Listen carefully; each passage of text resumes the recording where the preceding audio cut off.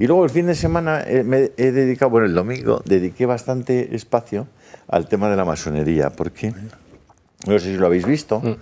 pero eh, ha habido varias noticias en el sentido de que eh, em, plantean explicarles a los niños las bondades de la masonería, lo maravillosa que es, lo angelical, lo fraterna, lo solidaria. Bien, bueno, pues yo he querido, al menos, que la gente esté informada de qué es la masonería. Ellos nos van a contar una parte. Por supuesto, no nos van a decir quiénes son los, los miembros, que es la clave. Que es la clave. En Inglaterra llegaron a disolver Scotland Yard porque era tal el número de masones que había en la policía y en la judicatura y el- los nexos que se establecían defendiendo los mismos intereses, se llegó a disolver Scotland Yard.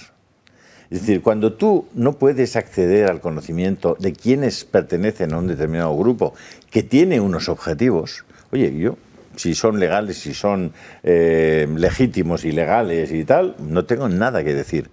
Pero usted no me puede mantener el secreto ni de, las, ni de cómo se eh, accede a los distintos grados, que son 33, porque han hecho públicos los tres primeros grados, pero a partir de ahí ya no, ya no se sabe qué es lo que tiene que hacer uno para llegar al grado 33, y si tiene que pisar un crucifijo o si tiene que abjurar de no sé qué cosa.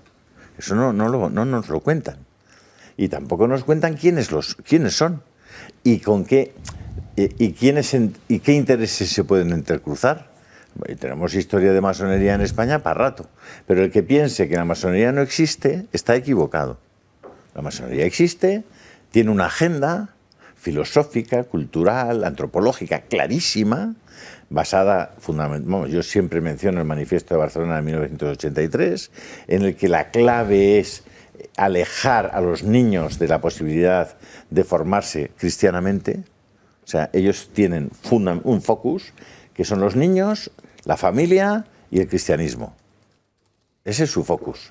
Entonces, en la medida en que, se, en que asumen el naturalismo como doctrina filosófica, es decir, la capacidad del hombre de, de- ser soberano con su propia razón y de que no haya nada por encima de la razón del hombre, y por supuesto la negación absoluta de lo sobrenatural, lo, cuando tú niegas lo sobrenatural, que es lo que por eso os copié la Humanum Genus, la encíclica de León XIII, cuando tú niegas lo sobrenatural, no queda lo natural, sino que queda lo antinatural.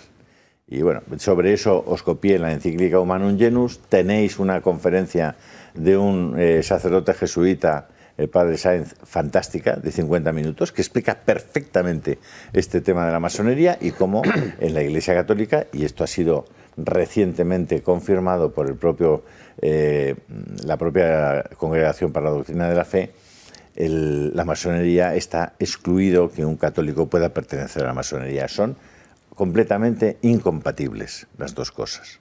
¿vale?